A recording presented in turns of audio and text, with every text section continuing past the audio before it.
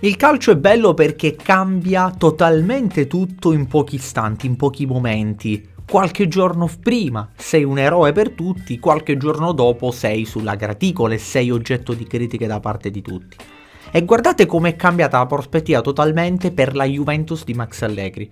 Perché se una settimana fa la Juventus era considerata come la nuova squadra rivale del Napoli, una Juventus che era effettivamente l'anti-Napoli, la Juventus che, da, che storicamente ha sempre messo i bastoni tra le, ruote al Napoli, che avrebbe sicuramente avuto un blocco dopo il mondiale, ecco che invece di colpo la Juventus non soltanto è crollata per 5-1 con il Napoli, ma attenzione, perché sono tornate tutte le rivali, sono tornate le rivali che possono mettere davvero ora in seri guai Massimiliano Allegri. Attenzione quindi a cosa succede perché ci sono tante novità da questo punto di vista. Io però prima vi ricordo un paio di cose. La prima è di scaricare OneFootball. Visto che abbiamo parlato di Serie A, vi dico che gol e lazzi della Serie A li trovate su OneFootball. Come scaricare OneFootball? Semplicissimo, qui sotto in descrizione c'è il link, automaticamente e gratuitamente avrete quest'app sul vostro cellulare. Altra cosa, qui su FCM Sport trovate aggiornamenti costanti sulla Juventus, ma anche su tutte le altre squadre, tutte le analisi post partite, tutte le gare, anche di Coppa Italia, mercoledì ci sarà la finale Supercoppa Italiana, quindi insomma qui trovate tutto quello che di bello c'è per quanto riguarda il calcio in generale. E allora, e quindi iscrivetevi, se l'avete fatto, attivate la campanella, ma soprattutto lasciate un like. Per noi eh, questo semplice gesto che è gratuito ci aiuta a, eh, insomma, a, a far in qualche modo emergere certi contenuti. Allora andiamo direttamente alla notizia perché c'è una Juventus che sembrava l'antinapoli di colpo invece si ritrova inguaiata nella corsa Champions League. Sembrava una Juventus scontata, eh, ma figurati se non arriva quarta, questa Juventus come fa a non arrivare quarta? Ed invece è cambiato tutto. Perché sì, il Milan si è fermato con Lecce, buona notizia per i bianconeri,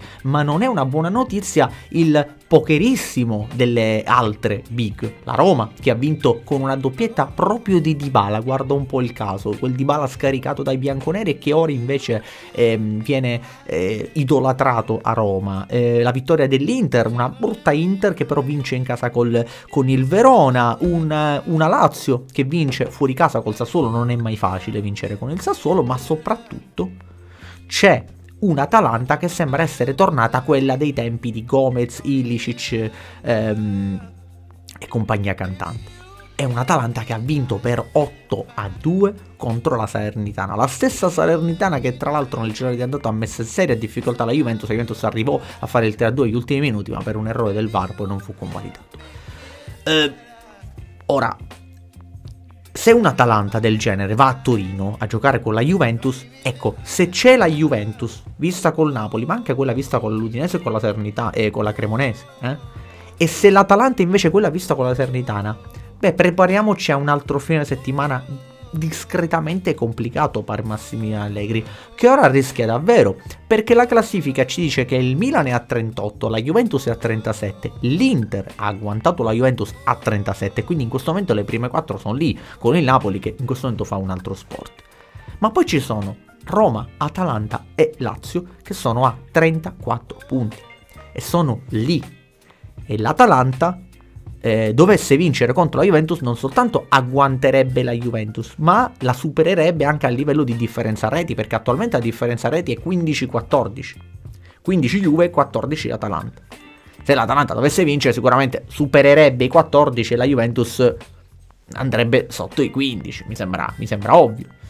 Ehm, e quindi cosa succede? Succede che questa Juventus eh, rischia davvero. E Max Allegri ora, che sembrava essere una botte di ferro, perché fondamentalmente la narrazione finora qual è stata? È stata di un Allegri che era sicuro, anzi dopo otto vittorie consecutive, nonostante tutto quello che c'è attorno alla Juventus extracampo, beh, lui è l'unica certezza che la Juventus ha. Ma questo 5-1 col Napoli, che Attenzione, ora comincio a vedere anche una sorta di protezione attorno a questo 5-1. Eh, ma il Napoli è troppo forte. Sì, ma il Napoli qualche giorno prima ha sofferto con la Sampdoria che è quasi ultima, che in 10 ha comunque battagliato contro questo Napoli. Ha dovuto faticare il Napoli di Spalletti, eh. E, e, qualcun altro invece dice, eh però eh, con l'Inter, e con l'Inter ha perso. Ed era un Napoli veramente, quello che abbiamo visto contro l'Inter, un Napoli brutto. Un Inter che tra l'altro non è un momento di forma eccezionale, eh, perché la stessa Inter che poi ha pareggiato contro il Monza in una partita in cui il Monza forse meritava la vittoria, è un Inter che vince a stento contro il Verona in campionato, che è ultimo, è un Inter che invece pareggia e poi va ai supplementari e vince soltanto grazie ai supplementari contro contro il Parma che è una squadra di Serie B. Questo per farci capire che non è che la Juventus non poteva arrivare a giocarsela col Napoli, è che la Juventus è in questo momento gestita male, ma soprattutto evidentemente questa gara non è stata preparata bene e per di più una Juventus che ha chiari e evidenti problemi perché se abbiamo evidenziato per tanto tempo la qualità della Juventus in fase difensiva con i 7 gol subiti fino a venerdì sera in campionato si parla poco invece dell'attacco. E l'attacco in questo momento al di là della, della Roma che ha fatto solo i 23 gol la Juventus ha il peggior attacco tra tutte le prime 7 che sono lì perché il Napoli ne ha fatto 44 e siamo ancora lì a dire fa un altro sport ma l'Inter, che non vive una stagione felicissima, ha comunque segnato 11 gol in più rispetto alla Juventus. Il Milan, che sta avendo qualche difficoltà rispetto allo scorso anno, ha comunque fatto 8 gol più della Juventus. Sì, subiscono più gol della Juve, sicuramente. Però nel calcio è importante anche fare i gol, non soltanto non subirli. Eh, la Lazio ne ha fatti 31, quindi ne ha fatti 4 in più della Juventus e la Lazio sicuramente ha avuto anche lei i suoi problemi con l'assenza di immobile per tanto tempo. L'Atalanta ne ha fatti 34, 9 in più della Juventus. Sì, solo 8 ne ha fatti l'altro giorno con la Salernitana, ma questo è un dettaglio. E questo per farci capire che in questo momento la Juventus eh, ha un periodo complicato. C'è però una buona notizia in tutto questo che se dovesse uscire indenne dalla sfida contro l'Atalanta e quindi vincere contro l'Atalanta, dopo si aprirebbe un filone di partite che quantomeno la Juventus può gestire. Perché? Perché comunque andresti a giocare la settimana dopo sempre in casa col Monza, che attenzione, questo Monza non scherza, però se la Juventus vuole chiamarsi Juventus, vuole avere l'ambizione di essere una grande squadra, beh, almeno il Monza lo devi battere in casa. Attenzione, il Monza sta giocando benissimo, è salito tantissimo con Palladini, fa, Palladino fa un gran bel gioco, però la Juventus dovrebbe comunque battere il Monza. Eh.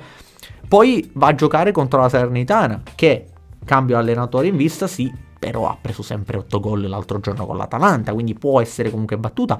Andrà a giocare il 12 eh, due giorni prima di San Valentina con l'amatissima Fiorentina e quindi anche lì una Fiorentina in questo momento non è che sta brillando. Poi ci sarà la sfida contro il Nantes, Spezia Juve, poi il 19 e, ehm, e poi si finisce febbraio con Juve Torino a Torino all'Allianz Stadium.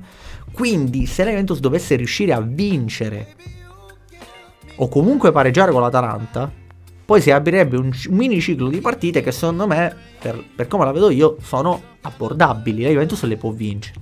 La speranza però è non tanto vincerle in sé per sé, ma ricostruire un tipo di gioco con una mentalità un po' più offensiva, cioè sì, va bene non prenderle, perché comunque è importante nel calcio avere una buona fase difensiva, però mi piacerebbe vedere una fase offensiva un po' più interessante, perché troppi pochi gol e una media gol troppo bassa.